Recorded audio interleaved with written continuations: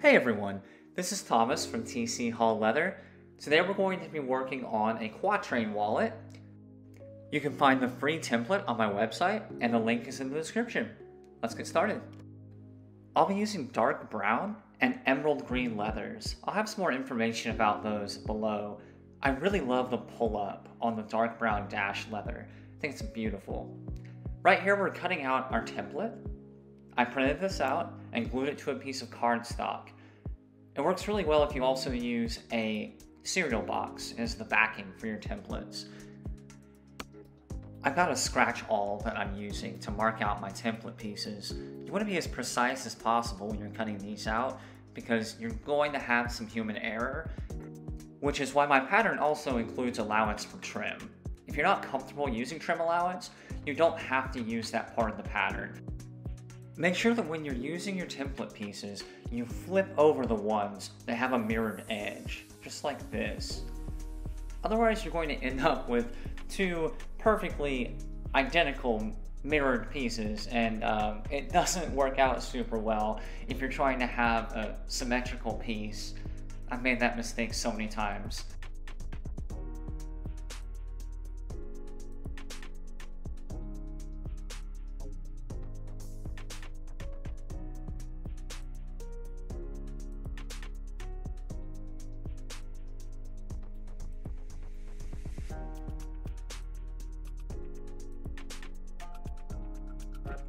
Here are all of our pieces laid out for us.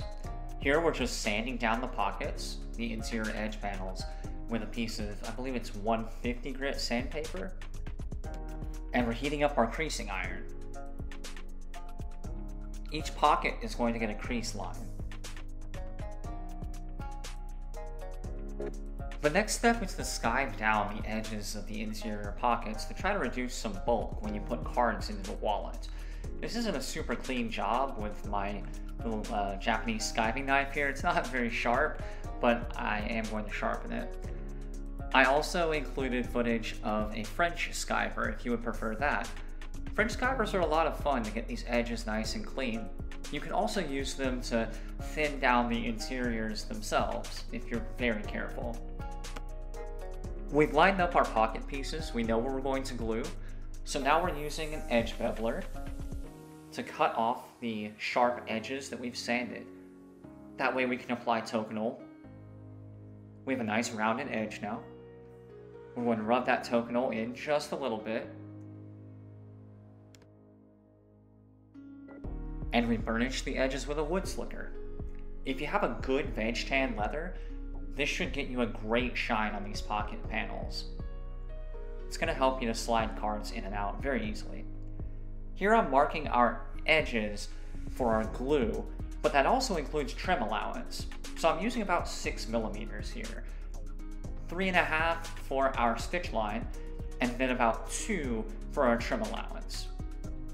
If we rough up the parts of the flesh side of the leather, that's gonna help our glue to adhere.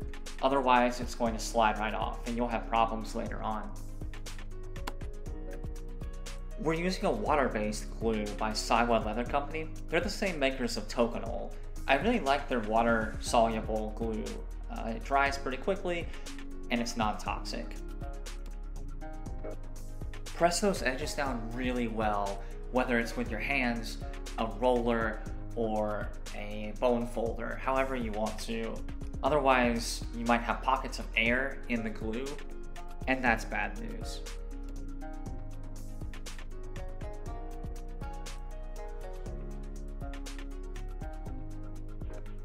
This is a roughing tool.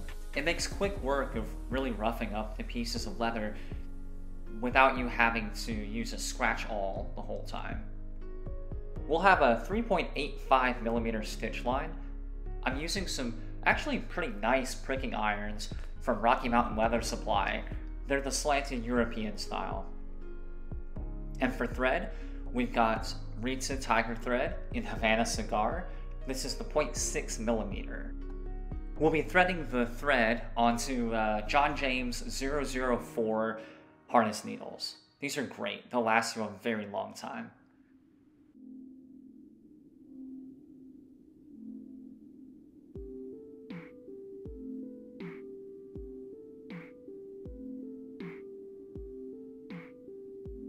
Because we're using a poly thread, we're going to use a thread zap to melt down the ends.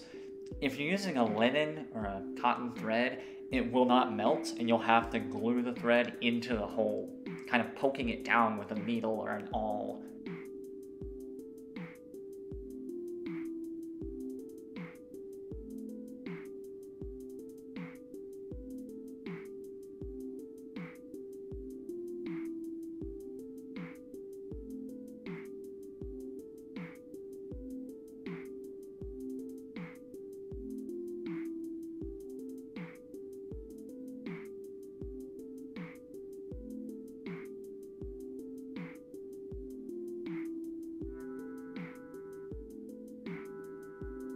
Now we're going to get to use that fun trim allowance. So we're marking a 2mm stitch line on the interior edges of our pocket panels. That way we can trim it down straight, get a beautifully clean edge once we've sanded it, and have a stitch line. One thing you do want to watch out for here is where you put your stitching holes. You want the holes to straddle the two pieces of leather for the pocket if you end up piercing one of those uh, junctures of leather with a hole, it really hurts the strength of the pockets, especially if you're taking cards in and out of it.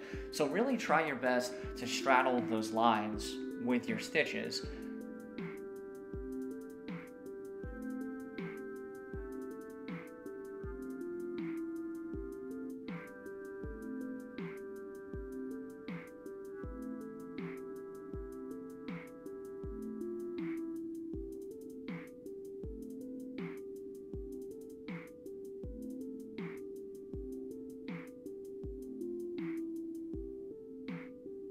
There is such a thing as too much glue.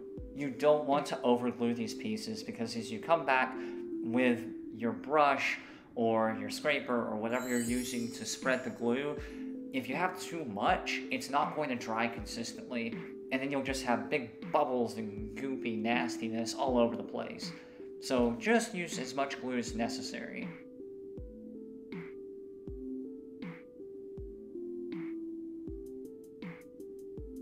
We've got our 2 millimeter trim allowance lines on the outside of the wallet, and the very satisfying step of cutting off that trim allowance. For me, this is where it really starts to feel like a finished product. We're not there yet. We still have to do the corners before we can start putting down our stitch lines. This is a corner tool, and I find it super useful for getting really clean corners on your products. It gives you a variety of corner choices and radius radi radii, radii. It is a super smart idea to plan out where your stitching holes are going to go before you start actually hammering into the leather. I often fly by the seat of my pants when I'm laying down a stitch line. Sometimes that works out better than others, but you can usually fix it by budging your stitch line a bit. Remember to close up those holes with a bone folder or with a hammer, a flat-faced hammer, so that they're not gaping open after you stitch. There's our tiger thread. I'm using about four and a half times the length of my stitch line. That number is not etched in stone. So depending on the thickness of your leather, you might need more or you might need a whole lot less. If you're looking for good tutorials on saddle stitching with two needles, you can check out Claridge Leather. Tanner Claridge is an awesome resource or charter made, which are fantastic ways to learn how to stitch.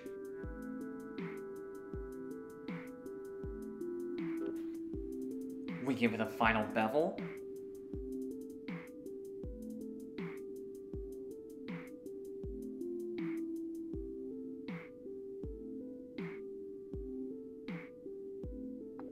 And for our last burnish of the outside, we're going to take it over to the drill press that I've converted into a burnishing machine. We'll go over the edges one more time with some finer sandpaper. Hit it with some more Tokonole, just a little bit will do. Burnish it by hand here. And rub it down with some canvas. That should give you a really beautiful shine on your edges, especially if you use the trim allowance.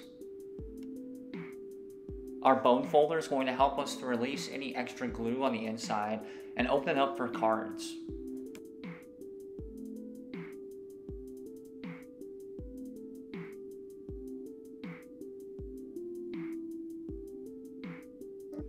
We're all finished.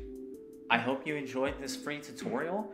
There are several of the free PDF patterns on my website, and I'm working on uploading videos for all of them. You can customize this card holder a bunch of different ways. If you have any questions about making it or about leathercraft in general, I'm happy to help. Just shoot me a message or leave me a comment.